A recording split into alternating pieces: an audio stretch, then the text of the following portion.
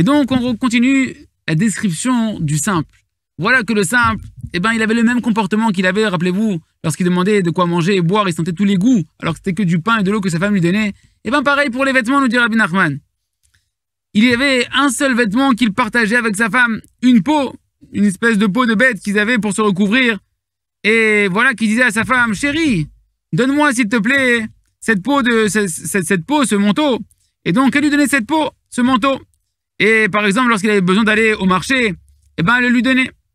Et lorsqu'il voulait maintenant revêtir un autre manteau, un, manteau, un par-dessus, pour aller parmi les gens, pour se promener, alors il disait à sa femme, chérie, donne-moi le par-dessus s'il te plaît. Et donc elle lui donnait la même peau qu'ils avaient l'habitude de partager ensemble. Et lui il se délectait de ce, comme si qu'il avait véritablement ce par-dessus, il disait qu'est-ce qu'il est beau ce par-dessus que j'ai sur moi, ce manteau merveilleux. Et lorsqu'il avait besoin d'un cafetan, d'accord, d'un manteau, d'une redingote, pour aller par exemple à la prière, etc. Alors il disait à sa femme, chérie, donne-moi ma redingote s'il te plaît. Et elle lui donnait la même peau de bête qu'il partageait pour se recouvrir. Et il a loué comme si il disait qu'est-ce qu'il est beau, qu'est-ce qu'elle est belle cette redingote. Et que lorsqu'il avait besoin de, se revêtir d'un autre vêtement encore, d'une autre, d'une autre veste, elle lui donnait encore le même, la même peau de vêtements. Et il a loué, il se délectait avec elle, il disait qu'est-ce qu'elle est belle, qu'est-ce qu'elle est belle ma veste, etc. Et ainsi de suite, il était constamment rempli de joie et débordant de joie en permanence. Et voilà que lorsqu'il terminait de fabriquer sa chaussure, vu qu'il était cordonnier, et a priori, le problème c'est que comme il n'était pas expert, sa chaussure, elle sortait triangulaire. Un triangle, elle était pointue devant et large derrière, parce qu'il n'était pas expert dans son métier.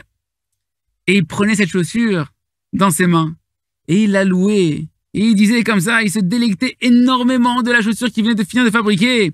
Il disait, regarde ma chérie, combien elle est belle ma chaussure, combien elle est extraordinaire ma chaussure, combien elle est douce ma chaussure, combien c'est une chaussure mielleuse et sucrée. Cette, cette chaussure-là, elle est merveilleuse. Et sa femme, elle le regardait un peu ébahie. Et elle lui disait, mais dis-moi, je comprends pas. Si elle est si extraordinaire, ta chaussure, pourquoi les autres cordonniers, ils prennent trois, trois pièces d'argent pour leurs chaussures, Ken pour une paire de chaussures qu'ils vendent, et toi tu ne prends que une pièce et demie, Ken la moitié? Il leur a dit, qu'est-ce que ça, peut me faire? Ça c'est leur histoire à eux, et ça c'est mon histoire à moi, ça c'est l'œuvre de leurs mains, ça c'est l'œuvre de mes mains à moi. Et pourquoi on va parler des autres? Pourquoi tu veux maintenant qu'on aille parler des autres? Regarde, viens, on réfléchit un petit peu. Combien je gagne moi-même de cette chaussure directement?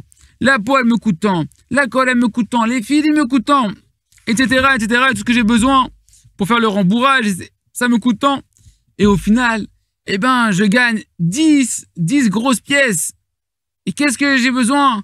Ken Patli, qu'est-ce que j'ai besoin de comparer avec les autres? Et il était constamment dans la joie, dans une joie qui était débordante en permanence.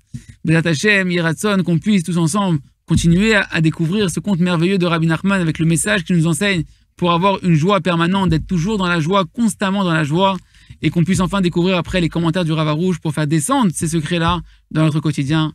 À très bientôt, Bezrat Hashem.